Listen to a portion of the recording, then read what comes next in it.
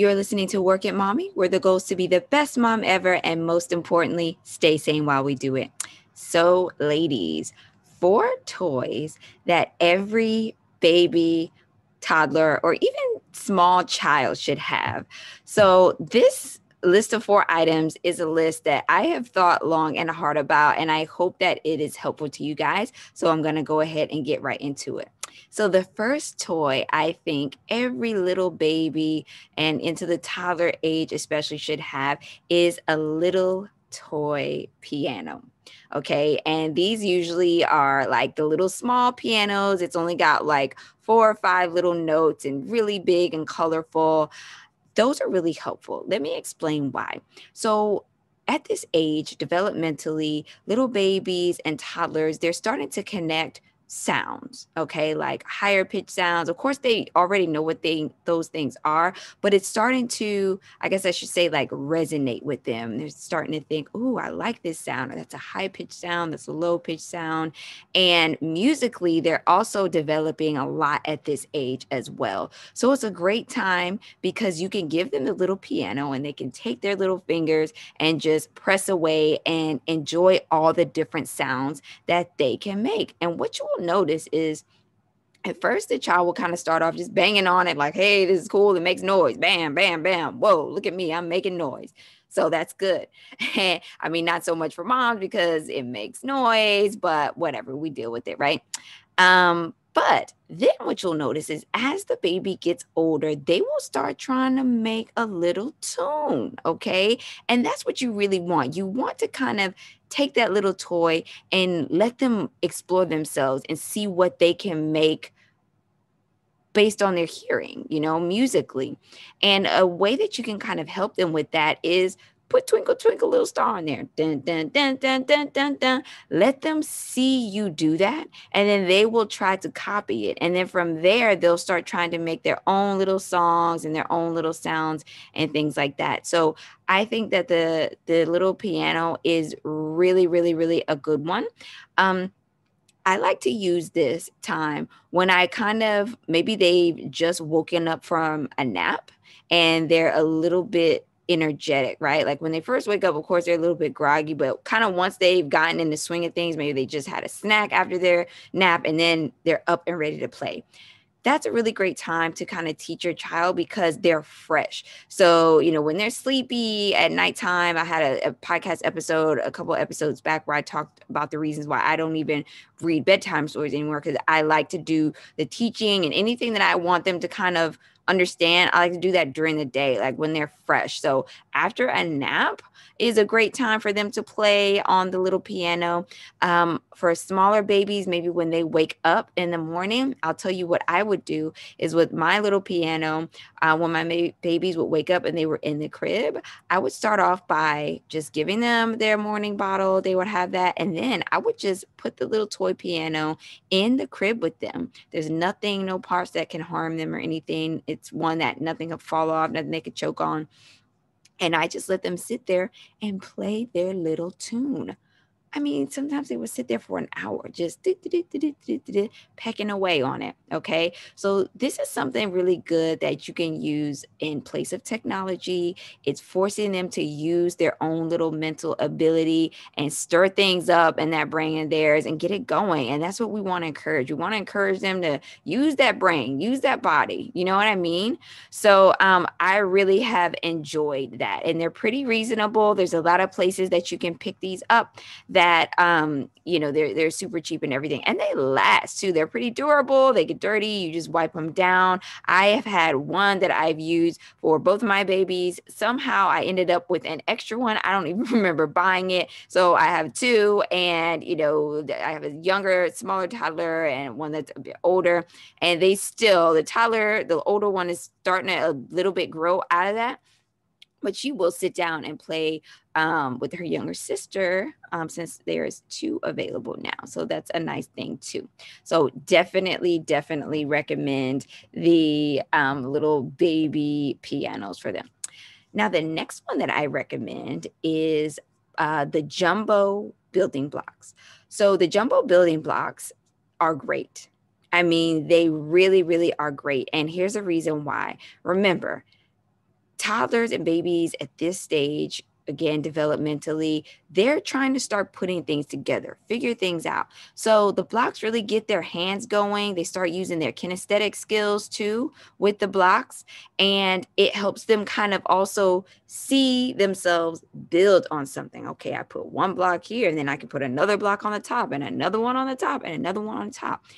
Again it just kind of makes them start gets them to use their own brain power and their building ability. So, what I do with these is I would kind of get everything out of the room.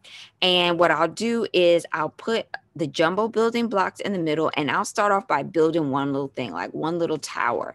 Oh, look what we made.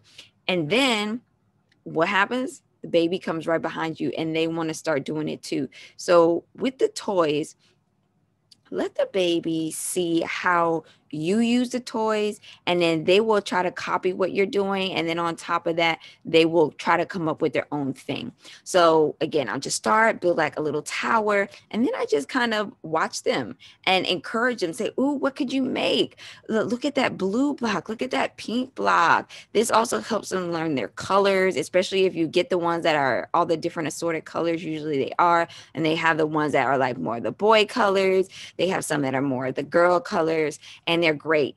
I also like the big blocks because unlike the little small Legos, these are easier to keep track of because Legos, as you know, you don't really want to have those for a baby because they're super small. They could choke on some of the pieces.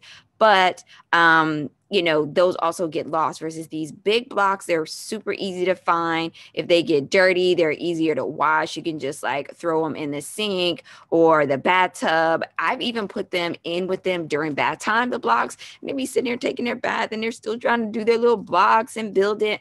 So there's lots of ways that you can use blocks, you know, from building things um, to bath time to sometimes another thing I would do with the blocks is let's say they finish their snack and I just wanted to like quickly clean up the kitchen or something, I would wipe up their high chair and then put a couple blocks on the high chair and they could just sit there in the high chair and try to play with some of the blocks.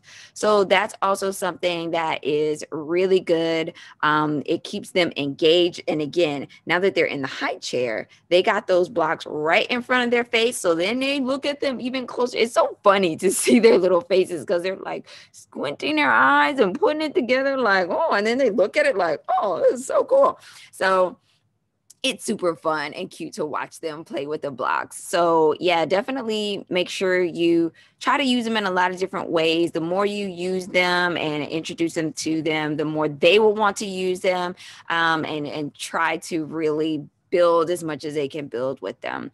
Um, the last thing I would say that you could also do with the blocks is it's a great way to encourage them to clean up. So the blocks, right? It's a lot of them, and they usually come in like a little box block case like they come with their own little bag so i've kept that bag over the years and i will just um, have it unzipped and then I'll say cleanup time. This is great for like a baby or a toddler that's just starting to walk because that's a really a great time to start teaching them how to clean up. And you could just say, let's clean up the blocks. And so then they get the concept of picking something up and carrying it and putting it into the place where it belongs. That's a really good way to get a toddler into cleanup time because if you're trying to get them to clean up with, you know, just clean up you know it's sometimes it's overwhelming they don't know where stuff goes and they don't know what stuff is and they're like hey what are you asking me to do right now? But the blocks they're so in tune with them and they're so like made for them they seem to just get it.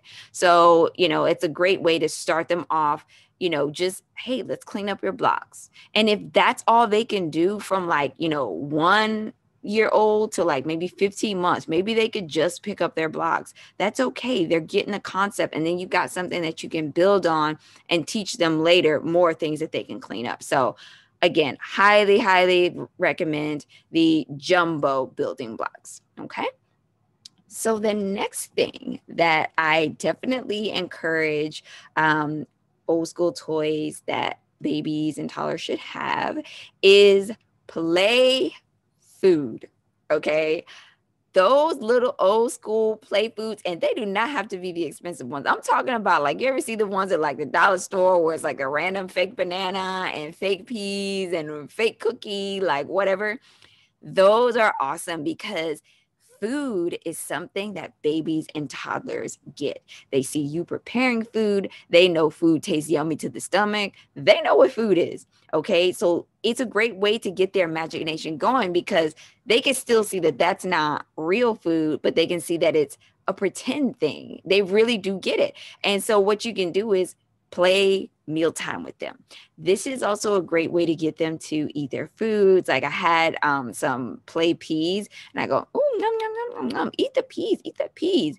And then the next time I cook peas, peas, they recognize those peas, even though those are the real peas, right? And they picked them up and ate them just like that. Okay. So that's really another way that you can encourage them to eat is with the play food. Now, the other thing that I like to do with the play food is just use it to encourage them to use their imagination. Okay, so you know, if you have the fake kitchen to go along with it, great. I have like the little small one, which I like because it doesn't take up a lot of space and it's not heavy, and I can move it around like from room to room. So that's super helpful. And some people have like the big elaborate kitchens. If you got space for that, great. And you want to go ahead and go full bore, that's something great to do. Um, but again, encouraging them to use their imagination. So you can walk into like your little kitchen with them, you know, you take your little plate and you put their fake food on there and you pretend you're eating with them. Pretend you're eating with them. They love it. They think it's hilarious because they know it's not real food, but it's like funny to pretend. And then all of a sudden you'll see them like my one toddler, she'll pick up her little cup and ah, I don't want, oh, excuse me. You know what I mean? So it's like, oh, she knows that drinking is refreshing, you know? So it's just a great way to get them to use their imagination. And another kind of game you can play with them with the food is let's play cooking. So I'll pretend that I'm cooking with the fake food. I'll go, ooh, I'm making breakfast. Yummy, we're gonna have breakfast. And then I'll go, your turn. You make breakfast for mommy. And they'll pick up the little plate and they'll start cooking. And here you go. You know, they say it in their little toddler voice, here you go. I'm like, oh, thank you. Delicious. It tastes so good. Oh my goodness. They just fall out in the floor. It's like so hilarious to them. Okay. So definitely. And with the fake food, you could start that super early. I mean, that one, I want to say with the fake food, I probably started with both of them, like maybe around four or five months. Basically, when they you could tell that they're really laughing at stuff, that's a good time to start introducing the fake food. And of course, the big fake food, um, the ones that are like plastic through and through, not anything with any small pieces or anything, because of course you don't want them to choke. But the big, um, like a fake banana or a fake chicken leg. Oh my goodness, we had a fake chicken leg they love the fake chicken leg because they understand chicken, right? and so they just love it. And matter of fact, sometimes they fight over that chicken leg. So definitely, definitely the fake food adds a lot of fun and a lot of joy to playtime. Okay. So let's get into the next one, which is a fake stethoscope or actually a real stethoscope. Okay. So the reason you want to get a stethoscope is because, again, it encourages them to use their imagination. They're playing doctor. Okay. And so by this point, you know, especially if they're like one, by the time they're one, they kind of get this concept because they've been to the doctor before and they've seen them put the little stethoscope on their chest and they're looking at it. What are you doing? Isn't that the cutest thing ever? Uh, and I just play doctor with them. And this works in a couple of good ways. Number one, it will get them like not as afraid of going to the doctor because they've seen that instrument before at home and they know that it doesn't hurt. Okay. So this is one that I wished with my first baby, I was I knew about and introduced a little bit earlier because she is more of a cautious baby. So whenever she went to the doctor, was like, uh, what are you trying to do in here? Don't touch me with that. She's a very high alert, you know?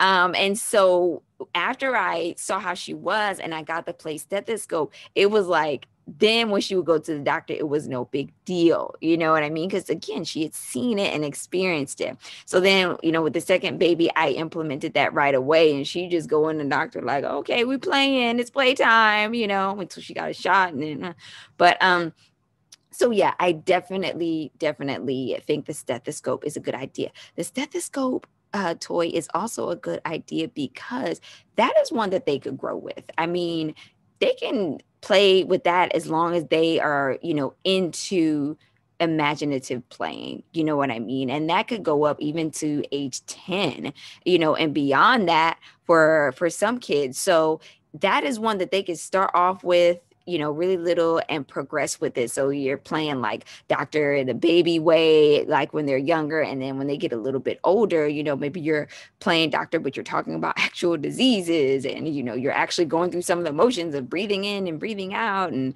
asking questions. How does your heart feel? And things like that. So you can get more interactive with the game of playing doctor. And the stethoscope will help them to be comfortable at the doctor um, when they actually do go and visit.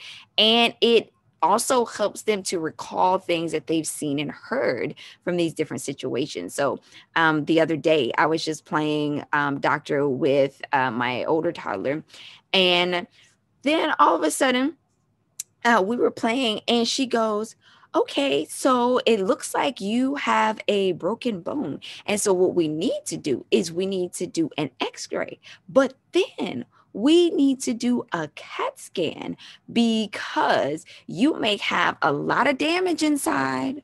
And I went, Oh, how do you know about a CAT scan? It shows more damage inside. So again, it showed me like, okay, she's listening into my conversation. She's listening. You know, there's been times and times past where she tagged along with me to a couple of my doctor's visits. So she understood that and heard it, you know. So again, it it gives you insight into your child information that they are retaining and then they get to repeat it and use it in a setting. So again it's just making their mind work. It's getting them to think it's getting them to use their imagination and it's getting them to engage with you instead of the you know um, ipads and the tv and things like that. And i'm not ever going to like completely oh, never TV, never iPad. Like you can use those things in moderation. And frankly, sometimes when you want some alone time, maybe you want to cuddle with daddy or something or whatever, and you can throw on a TV for a little bit and chill out or whatever, fine. Like I'm all about it, you know. But I really do think the old school toys are much more important because they encourage them to use their mind. And I think that if we're not careful today with how we use technology and how much we allow our kids to use technology, some of those like talking skills and reasoning skills are going to kind of get lost in future generations if there's a, a dependency on technology from an early age and they're never introduced to just traditional play. So, I hope you guys are taking away from this episode that the whole main point of having four old school toys for every child is to really just to encourage your child to think and encourage you to interact with your child. So I hope you guys have found this um, episode to be informative. I hope it's giving you some things to think about today we only covered four. There's lots of toys that are just basic, old school, affordable toys that I really want to talk about more that I will definitely talk about in the future. So stay tuned. All right, guys. Thanks so much for listening. Work it, mommy. Have a great day, and we'll see you in the next episode.